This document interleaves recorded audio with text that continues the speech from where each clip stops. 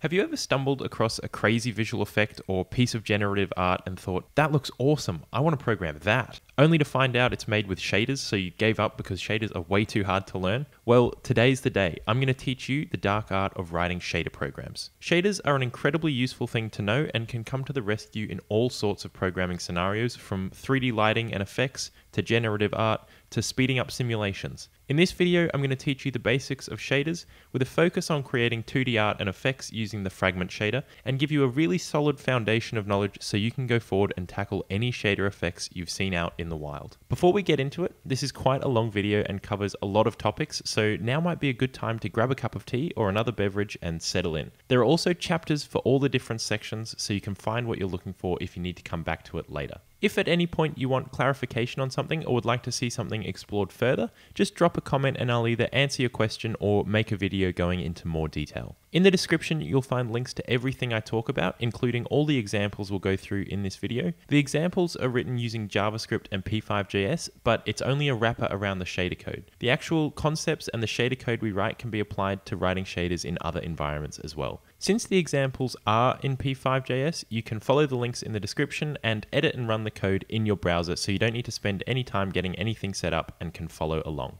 With all that out of the way, what actually is a shader? At its simplest, a shader is a chunk of code that gets run on the graphics processing unit or GPU instead of on the central processing unit or CPU. Both the CPU and GPU are made up of cores, which is where the processing is actually done, and each CPU core is much faster, more powerful, and more versatile than a GPU core. So, why would we want to run code on the GPU instead of the CPU? Well, the GPU has hundreds of cores where the CPU only has a handful. This means the GPU excels are doing lots of things all at once, which is incredibly handy for certain kinds of problems. The most common use for shaders is to do all the calculations involved with displaying things on the screen, and this is usually done in two stages with a vertex shader and a fragment shader, which is sometimes called a pixel shader. We still need to run code on the CPU to use shaders though. To draw a 3D shape on the screen, the code on the CPU will pass the GPU a list of all the points or vertices that define the surface of the shape we want to draw. The vertex shader takes these points and figures out where they should appear on the screen, and then the fragment shader figures out what color each spot on the surface of that object should be. There are other types of shaders with specific use cases as well, such as geometry and compute shaders, but they're a topic for another time. In this video, we'll take a bit of a look at the vertex shader, but we'll mostly focus on the fragment shader because for me at least, it's the most fun one to play with and also it's the most useful for the things I do in my videos. If you've ever tried doing things with individual pixels on the CPU, you know it can be pretty slow. Even on a relatively small screen, say 1280 by 720, there are nearly a million pixels that we want to update, which takes a long time to loop through. And if you want to try and do that 60 times a second, well, good luck. The GPU is purpose built for these sorts of things though. Instead of doing things one after the other like the CPU, the GPU can do a whole bunch of calculations all at the same time. This is called parallel computing and it can be incredibly quick. To write programs for the GPU, we have to use a special programming language. The most common one, and the one we'll be using today, is called the OpenGL shader language, or GLSL for short. The other main one is called the High Level Shader Language, or HLSL, and it's used by the Unity game engine. Now we know a bit of the theory of shaders, let's set up our P5 sketch to use them. Like I said at the beginning, shaders can be used in a lot of different frameworks, engines, and programs, so if you're using something other than P5, you'll want to get to a point where you're drawing a rectangle or a quad onto the screen, which will give our shader something to run on, and you'll also want to figure out how to set your environment up to use a custom shader. If you don't know how to do either of these things in your environment, Google will be your best friend, and I'll join you again in the next chapter when we start writing some shader code. To get shaders working in P5, there are a couple of things we need to do. Firstly, we need to tell the sketch to use the WebGL renderer by adding WebGL to the create canvas call in setup. This gives us access to drawing 3D shapes as well as using custom shaders. Secondly, we need to load our shader files into P5.js. P5 has a function called load shader where we can pass in the file paths for a vertex and a fragment shader and it will return a shader object. We don't have any shader files yet, so we can create some by coming up here in the editor and creating two files, which I'll call example.vert and example.frag for the vertex and the fragment shaders respectively. You can call yours whatever you want and the file extension doesn't matter either. I like to use .vert and .frag so I can see what type of shader is in the file at a glance, but some people like to use .glsl for all their shader files. It's up to you. We want to load our shader before we start running our sketch, so in the preload function, we can call load shader. In here, I'll pass in the names of the two files I've just created, and I'll store the shader object that's returned in a global variable called example shader. So we've now loaded the shader into P5, but we need to tell P5 to actually use our shader. To do this, in the setup function, we can call the shader function and pass in our shader object. Now everything we draw on the screen will be using our shader, which at the moment means that nothing happens because our shader files are empty. If you want to revert back to the default shaders, the ones supplied by P5, you can call the reset shader function, letting you draw normally again. For this video, we won't need to be resetting it at all, so we can set the shader to our custom shader in the setup function. Calling the shader function only sets the shader, but for the shader to actually run, we need to draw something on the screen. So let's just draw a rectangle. When we get to the vertex shader, we're going to make this rectangle cover the whole screen, so we don't need to worry about how big it is. I'll just make mine go from 0, 0 to the width and height. Two more quick things to note is that in the setup function, I'm turning off shape outlines by calling no stroke, and in the draw function, I'm calling clear to wipe the screen each frame. So now we're all done setting up our CPU code, we can take a look at some shader code. Regardless of what type of shader you're writing, there are some common things that all shaders share. All GLSL shaders have a main function, and this is the function that gets called when your shader is run. You can add other functions as you need, but this is where the shader begins. GLSL is what's called a strongly typed language, which means when you create a new variable, you have to tell the code what the type of the variable is, and you can't change it once it's set. If you've only used languages like JavaScript or Python, this might be quite new to you and it can take a bit of getting used to. In JavaScript, if you want to set a variable called x to the number 10, you can just say let x equal 10. In GLSL though, you have to say int x equals 10, which declares x to be an integer, which is a number with no decimal points. If you want to have decimal points, you'd probably want to use the float type. And just a quick note on floating points, if you don't include a decimal in a number, GLSL will assume the number is an integer, which can't be used to set a float and give you an error. So you'll see a lot of decimal points in GLSL code. Another very common data type we'll use a lot in this video is vectors, which can have two, three, or four components and can be initialized with either an individual value for each component or with a single value that will be set to all the components. The basic vector expects the components to be floats, but there are vectors available for a bunch of different types. I'll leave a link in the description that explains all the different data types available in GLSL if you want to learn more, but don't worry, I'll explain all the ones that we use in this video. You can reference the components of a vector in multiple ways. If the vector is representing position, you can use X, Y, Z, and W to access the four components respectively. And note if you're using, for example, a vec2, you can only access the X and Y components. You can access the same four components with R, G, B, and A if it's representing a color. And there's also S, T, P, and Q, which also reference the same components and apparently are the convention for texture coordinates, but I don't really use them. You can use these different representations interchangeably, which might seem confusing at first, but it can actually make things a bit clearer depending on the context that the vector is being used in. You can also access multiple components at the same time, which returns a vector of those components. This is called swizzling. For example, if you had a 3D position stored in a vec3, but you needed a vec2 of just the x and y coordinates, you could get that by saying position.xy, which will return a new vector2.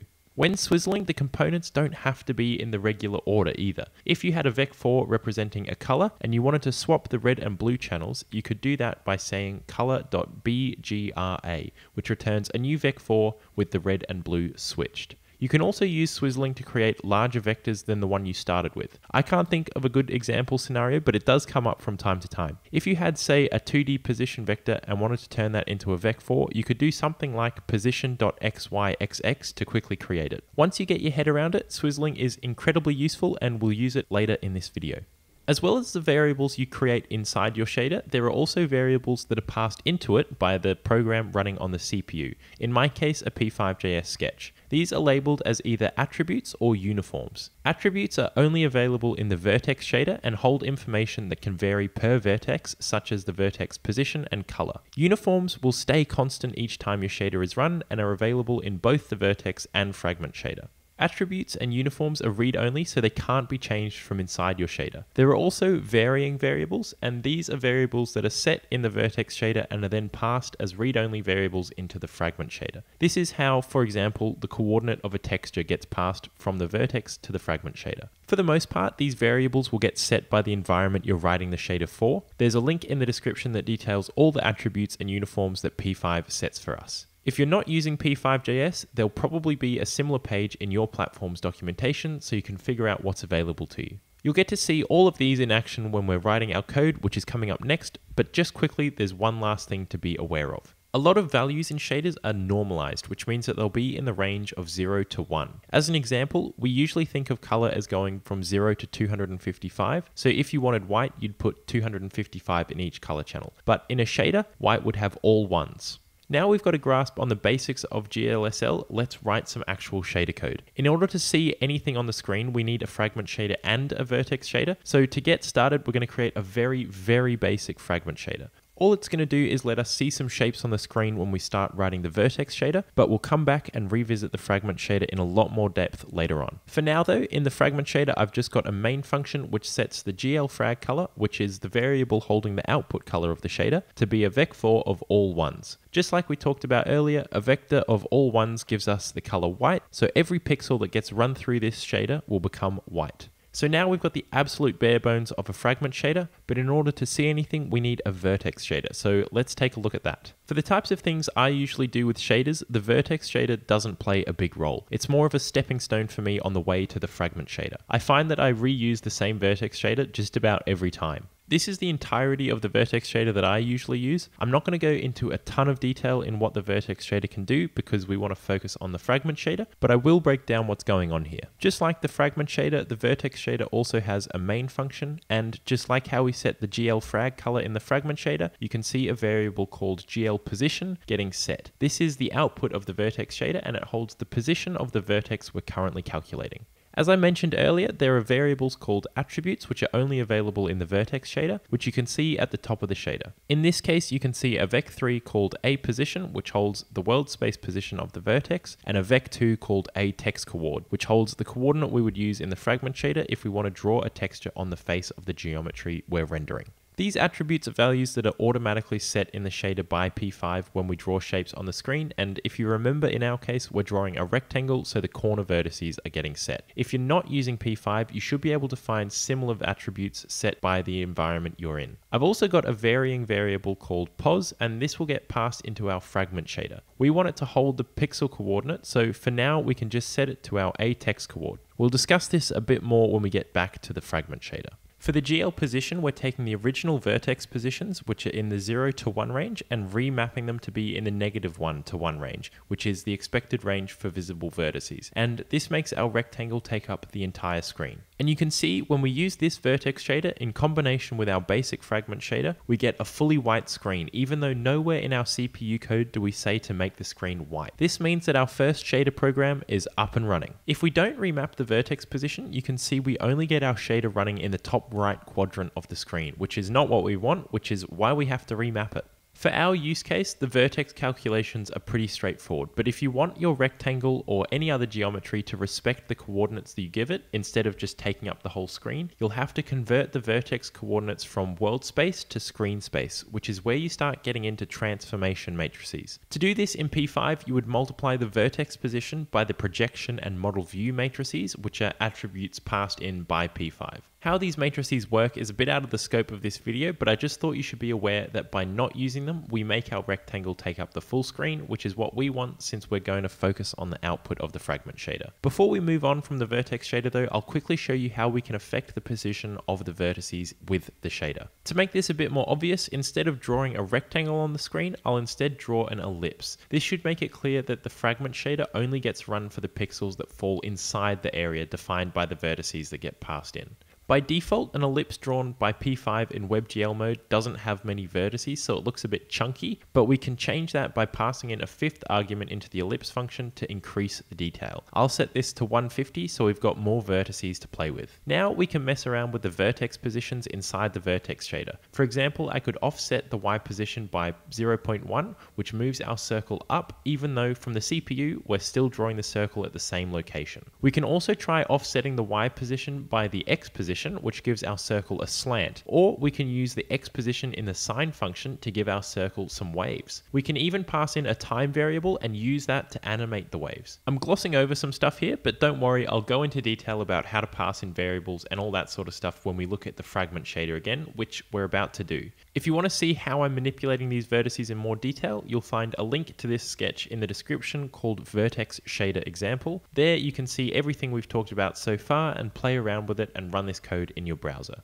So we're back in the fragment shader now and I've gotten rid of the ellipse and returned to drawing a rectangle and I've removed the bits from the vertex shader that make it all wiggly so we're back to just having a white screen. The color that we're outputting is a vec4 of all ones, but we can expand the vec4 constructor to set each channel individually. So for example, I could set the second parameter, the green value, to zero and leave the rest as ones, which will turn our screen magenta. So by changing the values of the output vector, we can make the screen whatever color we want. But this is a lot of work to just make the screen a single color. So let's try making some gradients instead. If you remember in the vertex shader, we created a varying variable called pos and we set it to the texture pixel position. We can read this value in the fragment shader and use it to change the color depending on where we are on the screen. To do this, we can add a varying declaration at the top of the fragment shader that matches the one in the vertex shader.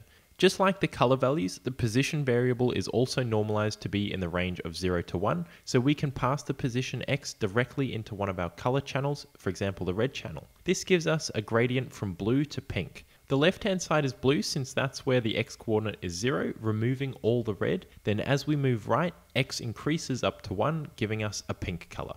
We're not limited to just using the x position either, of course. Let's try making a 2D gradient by using both the x and y values of the position in the red and green channels. Since the position is a vec2, we can use it directly as the first two arguments in the vec4 constructor, taking care of the red and green channels, so we only need to pass in floats for the blue and alpha channel, giving us a lovely 2D gradient. Since the red increases as we move right through the image and the green increases as we move up, we know that the origin is in the bottom left of the screen.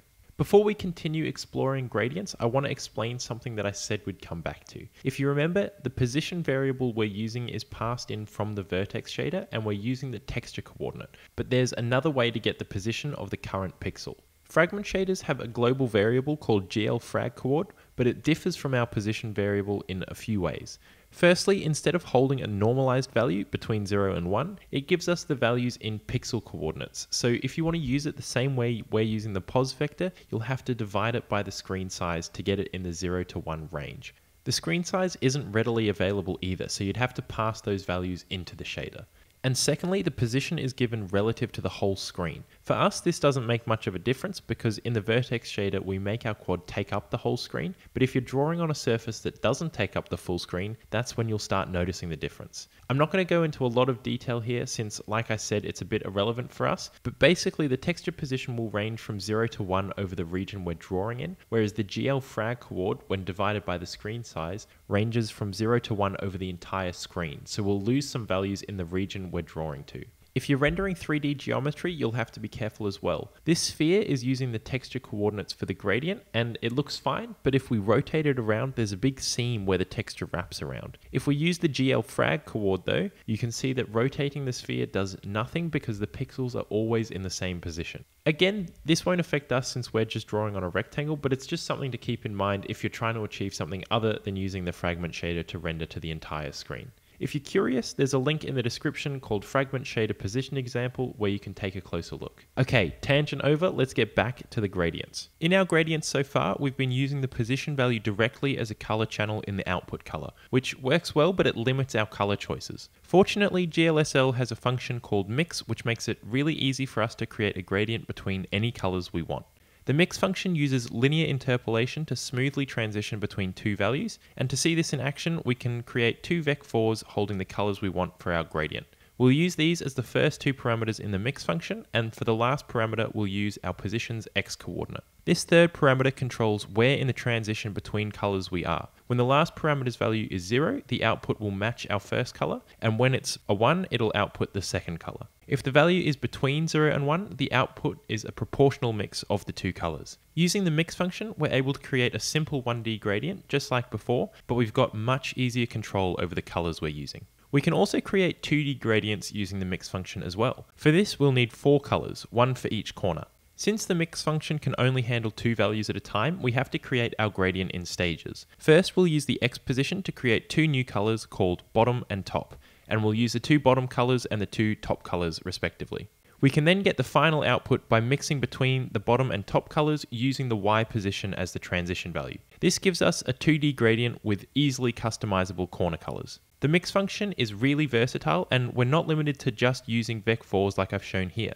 If you want to find out more, there's a link to the documentation for the mix function in the description. For the sake of keeping our shaders simple, as we continue, I'm going to go back to using the position directly in our output color, but as you've seen, the mix function is incredibly useful, so I had to show you how to use it. As well as using the position directly, we can also manipulate the position variable before we output it as a color. Let's create a new vec2 called newpos and use that as our color output. We'll set new pos equal to the value of our current position, but run through the fract function, which does nothing. What the fract function does is return the decimal part of a number. Our position is between 0 and 1, so it's already only decimals, which is why nothing changes. But what we can do is multiply our position by a number, say 10, and suddenly we can see our gradient is copied 10 times in both directions. Using the fract function like this can be really useful if you want to repeat something in your fragment shader. As another example of playing with a position before outputting it, let's go back to the linear gradient we had before using the x position in the red channel. But let's use the sine function on the x position and pass that in instead. You'll notice when we do this, there's a lot more blue in the output than pink, and this is because the output of the sine function goes between negative 1 and 1, but colors go between 0 and 1. So a negative value will just get clamped to 0. Likewise, a number greater than 1 will just get clamped to 1. We can even out the colors by remapping the sine value to be between 0 and 1. Like I mentioned in the vertex shader section, we can pass in a time variable and use that to animate the sine function. To do this, we'll add the declaration of a uniform float called millis at the top of our shader, which will pass in the elapsed milliseconds into. How you set the uniforms will again depend on the platform you're using, but if you're using P5 like me, you can use the set uniform function. If we go into our JavaScript, we want to update the millis every time we draw with the shader. So in the draw function, just before we draw our rectangle onto the screen, we can call the set uniform function on our shader object and pass in two parameters. The first is a string with the name of the uniform we're setting. This has to match whatever's in your shader, so we'll put in millis here. And the second parameter is the value that we want to set. P5 has its own millis function built in that returns the number of milliseconds our sketch has been running, so we can just call that and pass the value in directly. If we go back into the fragment shader, in the sine function, we can now add the millis value to the position.x, which will make the result scroll really quickly over time. To slow down the scrolling speed, we can divide the millis by 1000, which converts it into seconds and slows the animation down. In the description, you'll find another link labeled fragment shader gradient examples, which has the code for what we've been doing in the fragment shader so far. And again, you can edit the code and run it in your browser. We can of course pass things other than just numbers into our shaders as well. So for example, we could pass in an image. Let's add another uniform variable. This time its type will be sampler2D, which is the type we need for textures, and we'll call it background. And of course, we need to set this uniform as well. In our P5 sketch, we can use the load image method in the preload function to load an image and store it in a variable which I've called background image. And just like we did with the millis uniform, we can call set uniform on the shader object. We'll pass in the name, background, and the background image variable, which will make the image available to use in the shader. We can do this in the setup function since unlike the millis uniform, we don't need it to update every frame. Back in the fragment shader, we want to be able to get the color of the image at our location and draw that onto the screen. To do this, we can use the texture2d function, which takes two parameters. First, the sampler 2d of the image that we want to read, and secondly, a vec2 of the normalized position. This is another instance where our values should be between 0 and 1, and thankfully our fragment's pos vector is already normalized, so we can pass that straight in. The texture2d function returns a vec4 holding the color of the image at the current location, so we can store that in a color variable, then set the GL frag to it, which draws the image onto the screen. But you'll notice that our image is upside down, or more accurately, it's flipped. To fix this, we can create a new vec2, which we'll call newpos, and set it to the position vector. We can then flip the image back by setting the newpos.y to 1 minus the current y position. And now you'll see the image is displaying the right way up. We're again being a bit boring in how we use the position values to fetch the data from the texture, but like we did with the gradients, you should try playing around with the position vector before you pass it into the texture2d function to see how you can warp the image.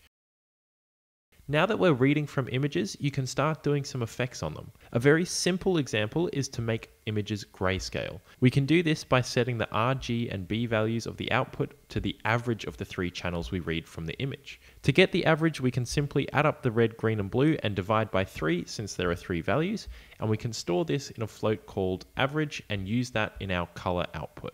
You know the drill by now, there's a link in the description for these examples called fragment shader image examples. If doing this sort of image processing interests you, you should check out my last video where I took a look at the p5.filter shader library that makes applying image processing shaders to your p5 sketches really easy. There's a link in the description to the GitHub for that library if you're interested. If you want to set a uniform to an array, there's a little quirk that you need to be aware of, but before we try setting arrays, let's look at just setting a vector uniform. I've stripped all of the image stuff back out of the fragment shader so we've got a clean slate. Hopefully you're getting comfortable with passing in uniforms because we're about to add another one, this time a vec3 called color. We can use this color vector directly in the output and now whatever values we set from our sketch will be the output of our shader. To set this from the JavaScript side, it can be tempting to use a vector object, but in P5 at least, we can't do that. Instead, we have to pass in an array with as many values as our vector has, in this case 3. In the setup, I'm going to set the uniform to be an array of 101, which gives us the color magenta. Now let's try to pass in an array of vec3s instead of just a single vector. We can update our uniform to be an array and we'll change the name to colors. In GLSL, you have to specify how long your array will be, so we'll pass in two colors so we can specify that in the square brackets here. I'll also quickly update the value we're outputting to use the first color in our array, which is at index 0. In the JavaScript, I'll create a second array, just like the first one, but set to cyan. We can then create another array that has these two color arrays inside it, creating our array of vector values, and we can set the uniform. When we do this, our screen is completely black, which is not what we'd expect. And this is the quirk I was talking about. Even though we said in the shader that the uniform is an array of vec3s, you have to set it as a single long array of values, in this case floats, and the shader will group it into clumps of 3s for each vector. So to fix this in the JavaScript, we want to make our color array hold all six values like this. Doing this, we get the magenta on the screen just like before, and if we change the shader to output the second color, we get cyan. Perfect. And just like before, there's a fragment shader array example linked in the description. If you've gotten this far, well done. We're getting pretty close to the end now. What we're going to do now is look at a technique for drawing shapes called sign distance functions or SDFs. It's a bit of a more advanced technique, but I'm going to keep it simple in this video and you can explore it further. I'll link some resources in the description if you're interested. This technique can be used to draw all kinds of shapes in 2D and 3D, and it's how people can make full 3D scenes with ray marching all done entirely entirely in a shader. We're going to barely scratch the surface by just drawing some circles on the screen. All an SDF is, is a function that returns how far a point is from the surface of some shape. The value will be greater than zero if the point is outside the shape, and it'll be less than zero if it's inside the shape. The value will be zero if it's exactly on the edge, and this is why it's called a signed distance function. A circle is a nice and easy SDF to calculate, and all we need to know is the center position and a radius of a circle. Let's define a vec3 called circle and we'll set both the x and y to be 0.5, giving a location of the center of the screen, and set the z to 0.3, defining a radius. To calculate the SDF, we first have to find the distance between our current position and the center of the circle. We can do this by subtracting the circle's center from our position and calling the length function to get the distance of the resulting vector. We have to use swizzling here to reduce our circle vector to just the x and y components, because remember the z component is the radius of our circle. We're storing this distance in a float called d, and this distance is to the center of the circle, but we need the distance to the edge instead. To fix this, we simply subtract the radius from the distance, and this remaps the distance so that anything closer to the center than the radius gives a negative number, and anything further away is positive, which is an SDF. We can display the circle by displaying the distance in the R, G, and B channels. We can see that the outline is a gradient, and this is because the SDF is a continuous value that increases the further away you get from the surface. To make the circle sharp, we need to figure out if we're inside the circle or not, which with an SDF just means we check if we're less than zero. An efficient way to do this is to use the step function. The step function will return 0 if the second parameter is less than the first parameter and otherwise returns a 1. The first parameter is known as the edge. So we can set d to the output of the step function with an edge of 0 and the distance as the second parameter, giving us a nice sharp circle. When the distance is less than 0, the step function returns 0, which makes the output black, and if it's greater than 0, meaning we're outside the circle, then the step function returns 1,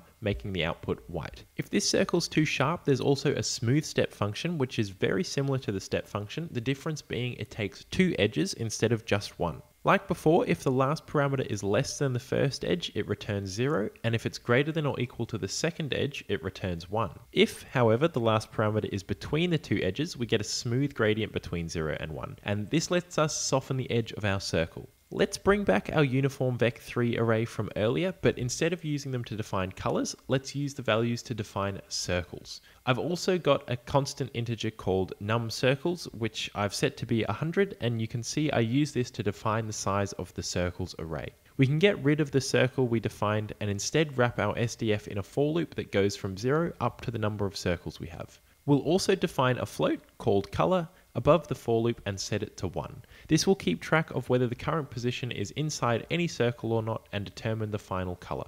Inside the for loop, we can update the SDF calculation to use the circles from the array, and once we've finished calculating D, we can use it to multiply the color variable. Since anything times 0 is 0, as soon as we're inside a circle, the color will become black, and if we're not inside any circle, the color will remain white.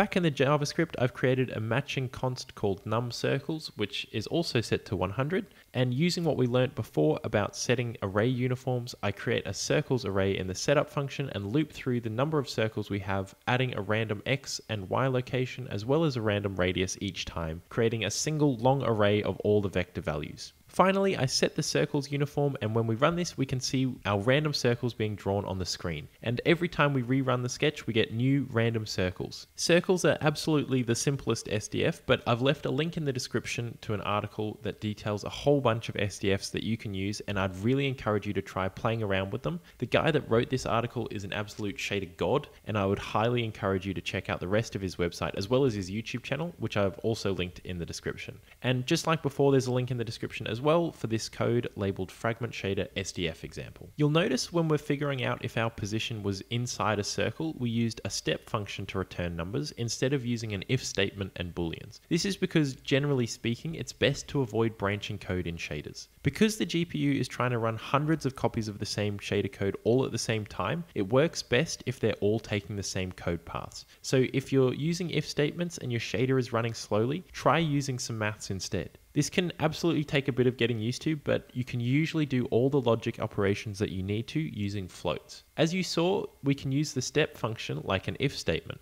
A little bit harder to catch would have been how we used multiplication like an AND statement. The color float started as 1, which is like being true, and we want it to remain true if we're outside all of the circles. The d value is 1 or true if we're outside any given circle and 0 or false if we're inside it. By multiplying the color variable by d, we're essentially accumulating AND expressions. As soon as we're inside a single circle, it's set to 0, which is false, and it'll remain that way. Here's a truth table for the multiplication of 1s and 0s, which is the exact same as a logical AND. A similar thing can be done using addition in combination with the step function as an OR operation, and you can use 1 minus a value as a NOT operation. Again, like a lot of shader programming, this takes a bit of getting used to, but you'll get the hang of it, and your shaders will run even faster because of it. It can be useful to first create the shader with just normal logic and if statements, and then convert it to maths afterwards. There's another link for this example called fragment shader logic example in the description. I'm not going to lie though, it's a bit of a boring one. There's one last thing to quickly mention before we finish up, and that is debugging shader code can be pretty difficult. There's no way to hook up the GPU to a debugger, and there's no print function to spam variables into the console. The only real output is the vertex positions in the case of the vertex shader and pixel colors in the fragment shader. So often what you'll end up having to do is output the values you're debugging as colors and try and interpret them. This is also not as straightforward as it might seem because if you remember, colors can only be between 0 and 1, so you might have to scale the the value before outputting it. You'll get a lot better at reading colors as you go, but when you're just starting out, it's probably best to just use a single color channel at a time so it's not too confusing. Once you get better at it, you'll start feeling like a witch or wizard trying to interpret tea leaves, and it's no wonder that people think shaders are black magic. And there you go, you made it. That was a pretty comprehensive introduction to shaders. Hopefully you're feeling a bit more comfortable with them now. There's a lot of information in this video, so it might take a few watches before everything sinks in, but if you keep practicing, it'll become second nature in no time. You're probably sick of hearing it by now, but one last time, there are links for everything I've mentioned, as well as all the examples in the description. And again, if you have any questions, please just ask them in the comments and I'll do my best to answer. If you're somehow thirsty for even more shader stuff after this behemoth of a video, there's another one of my shader videos that you can watch here. Thank you so much for watching, happy coding, and I hope to see you again soon.